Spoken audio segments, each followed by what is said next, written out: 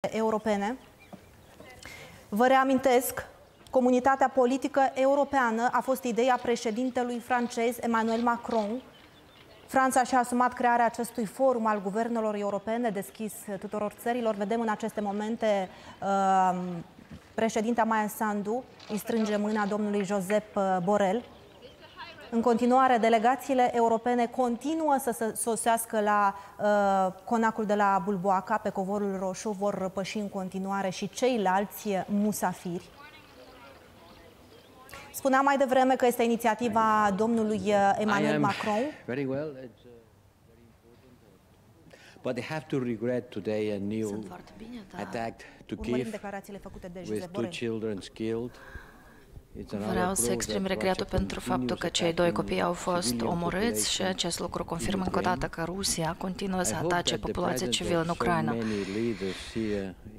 Many leaders here Eu very sper că close to prezența Ukraine, multor lideri aici, some care sunt kilometers aproape of the de border Ucraina, will la send a câțiva strong kilometri message de frontieră about cu the Ucraina, unity vor of trimite un many, mesaj many puternic despre states, not only unitate European Union, cu but multe others state, nu doar on cele din defending UE, international order and vor defending apăra the right of the ordinea people, internațională, vor apăra defending dreptul sovereignty of the oamenilor country. și vor apăra suveranitatea It's important that țărilor this message lor. reaches Este Russia. foarte Russia is not important here ca not acest because we don't want to mesaj invite să ajungă la Rusia. Rusia nu because este aici nu de Putin, atât că nu am vrut să o Russia invităm, has dar excluded this community. Putin a by launching exclus these attacks Rusia din această peaceable and comunitate justified prin lansarea acestui atac, acestui război, acțiuni nejustificate împotriva Ucrainei. Trebuie să lucrăm la trei lucruri. Primul, să conectăm mai bine oamenii din această comunitate politică.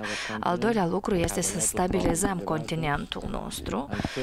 Și al treilea lucru, securitatea. Stabilitate, conectivitate și securitate. Acestea sunt cele trei cuvinte cheie ale acestei reuniuni din perspectiva construirii unui cadru comun de politici pentru UE.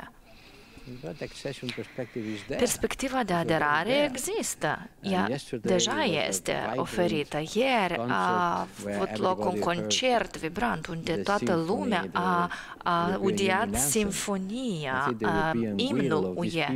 Și eu cred că voința europeană a oamenilor, a guvernului și calea europeană este foarte clară. Candidate. Something Și that, uh, some of the Moldova world are statutul de impossible. Now it's a candidat. candidate. Pentru Now unele they have to țări, work to make lucrul the asta este reforms imposibil. and the Acum, way is over. Moldova trebuie să facă reformele și s-a încheiat parcursul.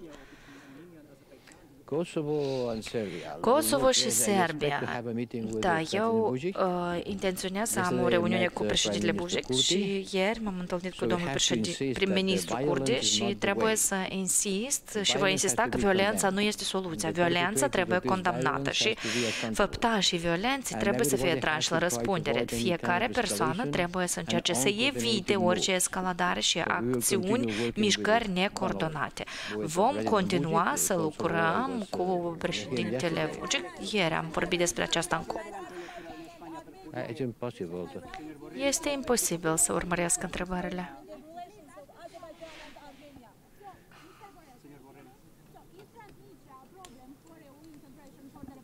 Este Transnistria o problemă pentru Are you integrarea în already UE a answered this Moldovei? question? Eu am răspuns deja la această Moldova întrebare. path is independently Republica of what's happening Moldova with the Transnistria. Decide în mod independent ce se întâmplă cu Transnistria. Cipru a devenit membru al UE având o problemă teritorială. Moldova la fel poate să facă lucrul ăsta.